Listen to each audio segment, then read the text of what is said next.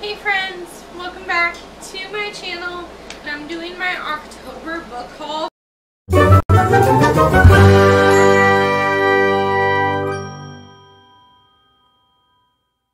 So the first thing I wanted to share with you isn't a book, but it's this really nice reusable bag. I got it. It says Savers and it has a little recycling thing. But Savers is actually the name of the thrift store that I shop at quite often. Have um, books where they are buy four, get the fifth free. So I typically get 10 or 15 books depending on the day and what they have there. First thing, I thought it was really cute and they don't do plastic there which is great for the earth. Uh, they used to do paper bags for 10 cents but they offered me this and I really liked it so I was just like yeah let's do it. Start with my unboxings. So this one I've already opened. This was from my mom and it's not a book but it was still so freaking awesome. So my mommy sent me pictures. So this is the last time I saw her. And then she wrote me, I love you. And it just like completely made my day. And then there's one of me and my mom and my hubby. And actually there's two of them. And then this one, she got a puppy. Now her puppy's bigger than that. But oh my gosh, that is my mommy and. The name of the dog is Beauty. But oh, it just completely made my day. I, I had to show it off. Now this is a book. I think it's a book that I won on Goodreads. So I think it's an ARC. But I don't know for sure, honestly. I might have to go get a knife, guys. There it is. Let's see it. I'm pretty sure it's a Goodreads book. Just kidding. Okay, let's... We'll throw that over there. Oh. oh my gosh, it's a heavy book. This I won on Goodreads. It's a collection of short stories. I've been really trying to get into short stories more. So this is Ben Bova, my favorite. Or my favorites by Ben Bova. Um, so this is like sci-fi short stories. So it's a collection of short sci-fi reads, which will be a little bit out of my comfort zone, but I really am trying to read more, you know, outside of my normal realm. I'm very excited, and he wrapped it so nice when he sent it to me. Like, most of the time when I get stuff from Goodreads, it's just in like a yellow or a vanilla envelope. Now let's get to the books that I've already, or that I bought physically myself. Um, most of these I got from trading other books that I no longer want. Uh, I haven't traded, that's not true. I traded all my Stephen King because I'm just done with Stephen King. I've tried several books. I love one of his books, but his writing just isn't for me. And you know what? I'm okay with that. Don't come at me, please. Um, so I got rid of those and I got rid of all my DNFs. So I traded the books that I'm no longer excited for for all of these. And two of them I've already read. So let's talk about the ones I've read. So the first one is Fantastic Mr. Fox by Roald Dahl. Uh, it's just a really cute middle grade book. Uh, this one's my favorite of his so far that I've read. Uh, the intended audience, and that's obvious. Uh, but I thought it was really cute. We followed this fox who is trying to provide for his family, and the farmers get mad at him because he's eating all their animals. So they sit in front of the foxhole waiting for him to come out and they want to hunt him down. They have a goal to read all of his books. I think I've only read six or seven of them this year and I haven't ever read one before that so there is that. Then I found this book called Cake. It says Art Jumble Presents Cake, Volume 1. I haven't been able to find another volume. If you've read this and you know that there's another volume, please let me know where I can find it because I really enjoyed this. So this has nine different authors with like 10 sh different short stories in graphic novel form now. And so they're all different styles and they all have different subject matter. Uh, some of them are really weird. So, because like three of them were just too weird for me, and I didn't like, it was just out of my comfort zone in the weird factor, I gave this star, I gave this book four stars, but it was definitely worth it. Something that was weird is that I'm the only one that's rated this on Goodreads, so that's interesting. And it's been out since 2008. But I very much enjoyed it. There's like dog kisses, and then that one's about the planet. And it's just, it was just really cute. I actually did a reading vlog of reading this, and if it's up, I'll link it up here. If it's not, then it will be soon. Um, this, the rest I haven't read yet. Uh, but this one in particular, I bought last month, and I don't think I included it in my book haul from September. But this is Arizona Then and Now People and Places. So it's literally just a picture book of then versus now. It's got like then and now, and then it's got some that are just the past and just the few, uh, just what it looks like now. See, and I just really enjoy these. These are nice little table books because you can just pick them up and flip through them or you can take the time. The reason that I picked it up was because I'm a teacher and I thought that this would be really cool to do some like projects. Um, so I'm like a year away from graduating and being a teacher that gets paid.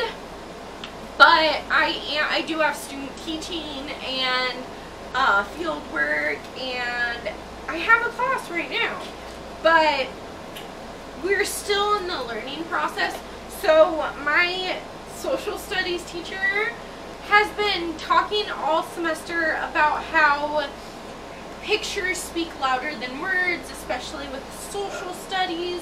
So I thought that that would be so cool to use some of these pictures for, excuse me, for social studies lessons. So I really do enjoy this. I might actually count it as a book that I'm going to read because I read graphic novels that don't have words or mini words. So yeah, this is going to count on my TBR someday. But see, this is just like recent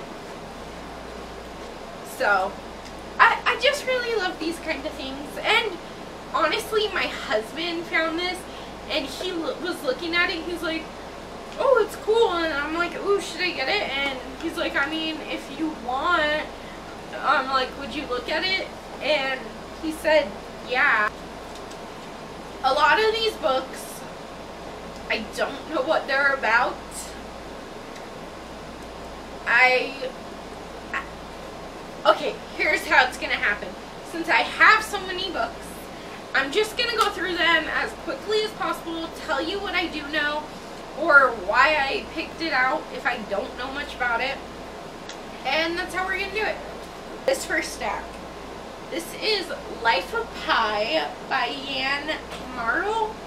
Pi Patel, a God-loving boy and the son of a zookeeper, hi Jellybean, has love of stories and practices not only his native Hinduism, Hinduism but also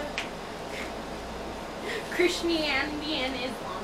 When Pi is 16, his family and their zoo animals immigrate from India to North America aboard a Japanese cargo ship. Honestly, not 100% sold on it, but Chantel from Chantel at an Intentional Life was kind of skeptical about reading it too, and then she read it and she actually liked it. And The Woman in Black by Susan Hill. I don't know much about it other than it's a ghost story. This one is The Picture of Dorian Gray by Oscar Wilde. Uh, this is a classic, like, horror book. And that is literally all that I know about this. Oh my gosh, I was so excited when I found this at my bookstore. The Girl Who Drank the Moon by Kelly Barnhill.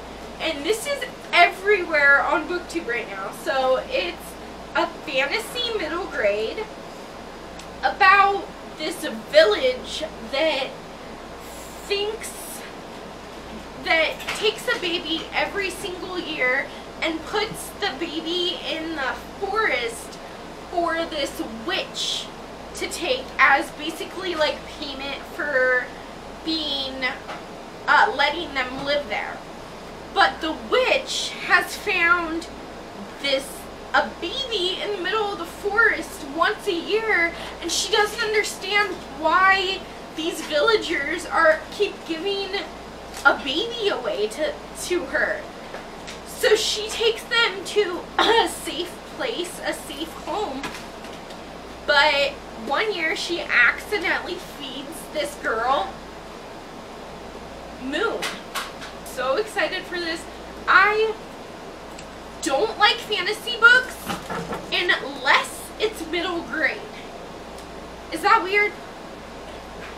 Probably.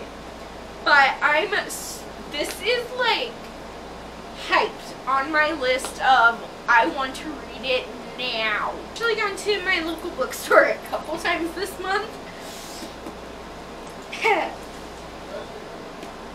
so, these were all from my first trip to the bookstore. Yes. So there's Paper Girls, which is another graphic novel. I'm really getting into my graphic novels.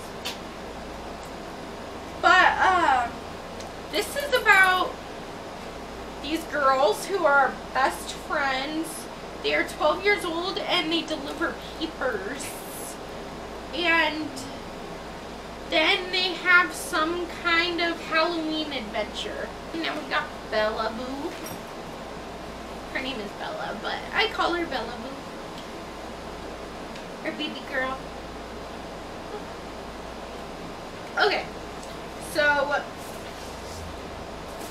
I have been reading dystopians. The fifth wave in particular is the dystopian that I'm really loving right now. So I had to get more dystopians I have never read or seen this movie before, but it is The Maze Runner by James Dashner, which everyone already knows what this is and has read it, except for me, you know? Then I hauled Teen Trailblazers 30 Fearless Girls Who Changed the World Before They Were 20 by Jennifer Calvert, illustrated by Vesna Asanovic. Asavovic. I can't say that last name. Nonfiction type of thing about different women who have changed history. Then I got this big book. Let's see how many pages. I think it's like 800.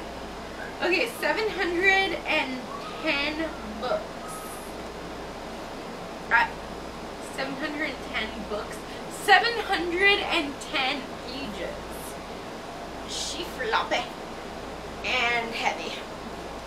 But it's House of Leaves by Mark Z. Daniel Whiskey. I know it's a scary book. I know it's horror. And I know that the style in this book is so different. And I think you have to like solve some riddles. I mean, technically I guess this is nonfiction. It is um I I really want to get back into my Wicca ways. So I'm starting to collect my tarot cards and my numerology and my astrology and I want to get back into that because I kind of haven't for the past couple years and I miss it. Uh, I felt very, when I do my Wicca, I feel very one with earth. I feel very meditated, very calm, and I just really enjoy it. So I got this book of tarot cards that tell you what each card is, what it means, and there are a couple different layouts here, and I'm just really excited for it. Uh, I need to get some tarot cards, but I think my husband's gonna buy me some for Christmas. I got this book called The Water Knife by Paolo Balagalpi. Balagalpi? Um, so honestly, I mostly got this because my professor recommended it to me when we were doing our unit on water. So it's about this dystopian future. I don't know if it's dystopian. Let's see. In the near future, the Colorado River has dwindled to a trickle. Detective, assassin, and spy Angel Valquez cuts water for the Southern Nevada Water Authority, ensuring its lush archaeological developments can bloom in Vegas. When rumors of a game-changing water source surface in Phoenix, angels sent south to hunt for answers that seem to evaporate as the heat index soars and the landscape becomes more and more operative. Hmm. So it's about, so if you don't know, in Arizona, they like created this watershed to take water from the Colorado River that runs in California, Arizona, Colorado area. And they made, they engineered this watershed to bring the water to southern Arizona, places like Phoenix and Tucson, and a lot of stuff happens to the water in the process that it's coming down to Phoenix and Tucson area. A lot of it gets evaporated, there's particles that get in the water, and it's just it's honestly it was so expensive to do and it's not the best way to get water but I'm really interested in the story uh, I just want to know the new near future of no water in Arizona or at least like the southern part of Arizona. I found three books at the dollar store. So if you don't look for books at the dollar store, I'm, I'm telling you, these, well, at least one of these I've heard about, and the other two just sounded really, really good. But I've gotten so many books at the dollar store, and usually they end up being really good. So, next time you're at the dollar store, check out the book section. It is Where'd You Go, Bernadette? by Maria Semple. Uh, I honestly don't know anything about this. The one I found at the dollar store is The History of Food in 101 Objects. So again, it's a non-fiction and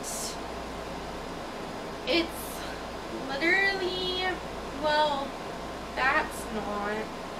So it's different objects and what they mean to the food industry. And then we got these really nice in pages of blueberries and grapefruits. Here and Gone by Haylen Beck. Uh, I think it's a thriller. Another classic horror story. This is The Haunting of Hill House by Shirley Jackson. Penguin Classics edition. Another Roald Dahl book. See, the world's number one storyteller. So this is Esio Trot. And I picked it up because of the cover, but also because Roald Dahl, I want to read all of his books. Okay, and then something that you guys might not know about me is that in high school I read all of the chicken soup books. I read every teenage edition. I think there were three of them or four of them. Then I read For the Woman's Soul, Chicken Soup for the Soul, Chicken Soup for the Dog Lovers. I just really enjoy chicken soup books. I actually wouldn't mind starting to collect those again. So I found a Chicken Soup for the Soul book that I haven't read before. But it is Chicken Soup for the Soul, Life Lessons from the Dog. 101 Tales of Family, Friendship, and Fun. This one I got by accident. I mean, I didn't, but I did. So, I bought Bridget Jones, The Edge of Reason by Helen Fielding. I should have read right here, author of the best-selling Bridget Jones' Diary. I thought this was the first one, but it's not. It's the second in the series. This really thick edition. It's a cute edition. It, uh, by E.B. White. It has Charlotte's Web, which is on my TBR and has been on my TBR for a very long time. I've never read it. But everyone knows the story of Charlotte's Web. And then Stuart Little. Everyone knows that. I used to love the movie or the movies of Stuart Little, so I'm really excited for that. Then The Trumpet of the Swan. I don't know what that one's about. Woo. Then I got another short story collection. So if you like the idea, I think I really like this idea of vlogging when I read short stories and each short story I can kind of give you an honest reaction of how I'm feeling about that book or that story, if I liked it, if I will continue to find books by this author based on the short stories or just my initial reactions and if I like them and kind of ranking which ones are my favorite. If you guys like that idea, please give this video a big thumbs up.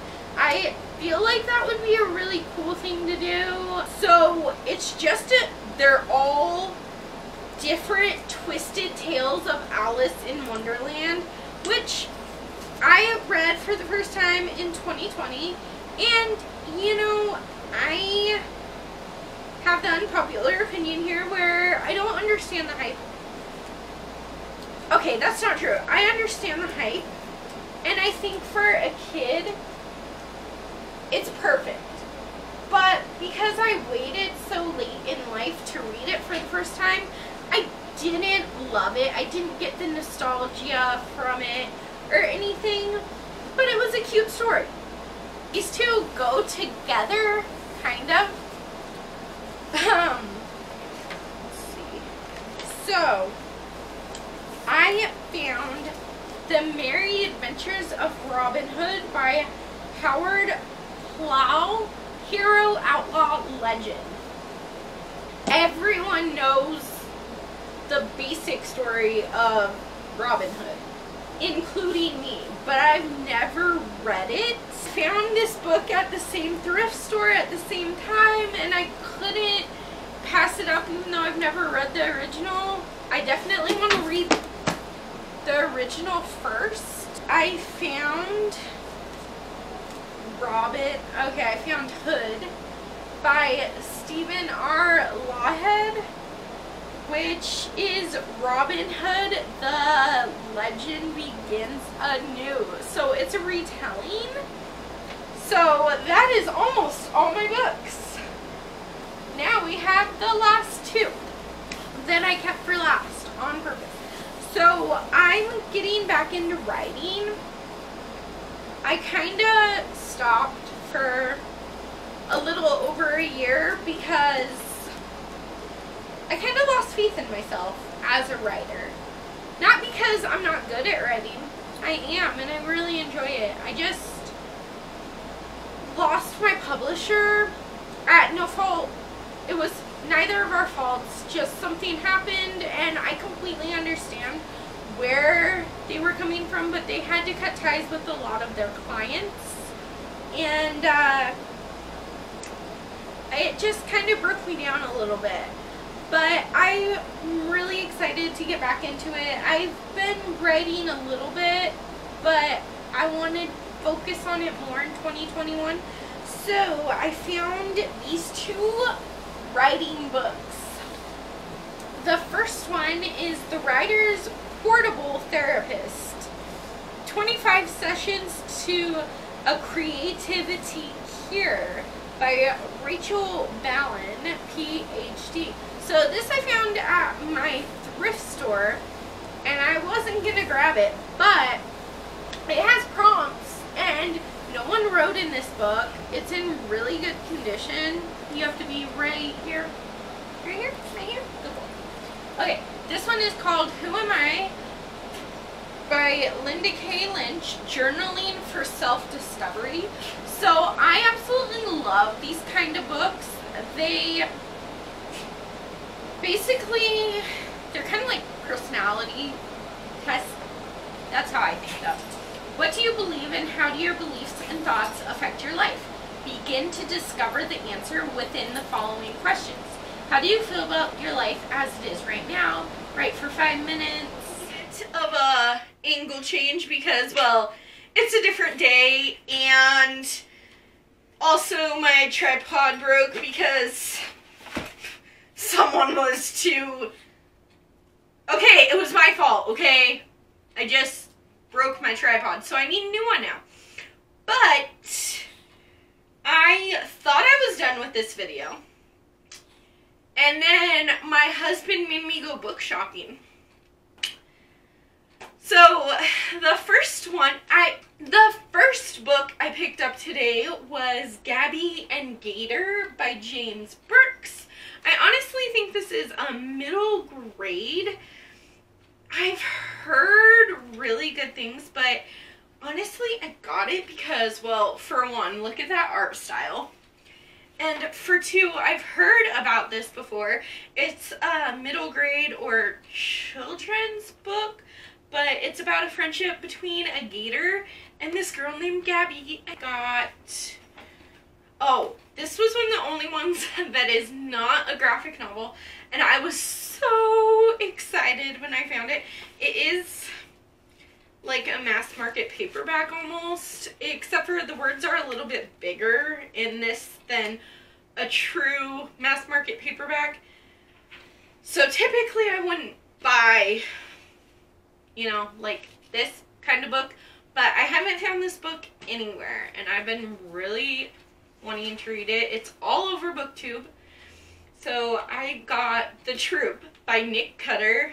It's a survival story about Boy Scouts, or just a troop of boys in Canada. They go into this wilderness, and then someone they don't know kind of crashes their party. So I got my second Neil Gaiman book earlier this month. I bought The Graveyard by Neil Gaiman which is another middle grade book, I believe. So there's you know, everyone knows what Coraline is. This has been adapted into a movie, which I've never seen. And honestly, I just want to give Neil Gaiman a try, and his middle grade seems perfect for me because I'm not a big fantasy person. Actually, I hate fantasy. Um, I like fantasy movies and sometimes fantasy TV shows, but for some reason, when I read fantasy, I don't typically love it. This one is also a non-fiction book. It's not exactly, it's not a graphic novel. So I guess I got a few graphic novels and a few not graphic novels. But I found the Book of Spells. Over 40 secret recipes to get your own way in love, work, and play. Three emergency spells on sealed pages by Nicola de Pulford. So, one of my goals for 2021 is to get back into my Wicca. So, I've been collecting more nonfiction Wicca type books. This one is my first spell book. I also have how to read palms and tarot card readings, although I don't have tarot cards yet, so it doesn't make much sense, but spoiler alert, I think my husband's gonna get me tarot cards for Christmas. Not anymore. Your headphones were supposed to be on, babe! Go back to your world! Put your headphones on and stop listening. Yeah, code away. Thank you. He is gonna get me some. It's called Hereville, How Mirka By Barry Deutsch. This is yet a no yet another troll fighting 11 year old Orthodox Jewish girl. Okay, and then the last one I got today was my final graphic novel. It's called Remind by Jason Brubaker. And I believe this is Scary Stories. All Sonja wanted was to find her missing cat. But when he washes up on the shore of her sleepy coastal town several days later with a head full of stitches, and the startling ability to speak. No memory of how he got that way. Her quiet life is forever changed.